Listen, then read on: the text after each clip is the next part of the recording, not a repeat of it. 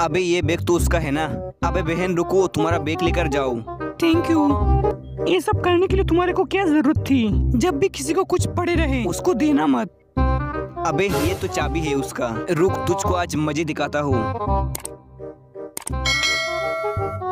हे मेरा गाड़ी का चाबी कहाँ गया? किसी को कुछ पड़े रहे उसको देना मत। तुम देखा है क्या? नहीं नहीं मैं देखा नहीं।